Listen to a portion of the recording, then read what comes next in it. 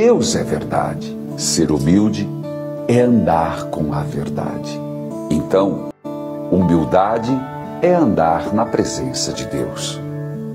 A pessoa humilde é aquela que se põe a serviço numa atitude de alegria e não se deixa afetar pelas honras nem pelas desonras. Não se deixa afetar pela calúnia e não se coloca como merecedor de nada. Humilde também é quem nunca está com olhar sobre as faltas dos outros ou sobre os pecados alheios.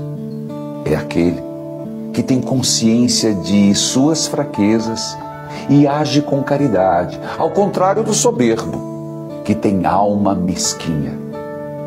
O humilde tem consciência de que para tudo dependemos de Deus. Já o soberbo julga tudo como mérito próprio.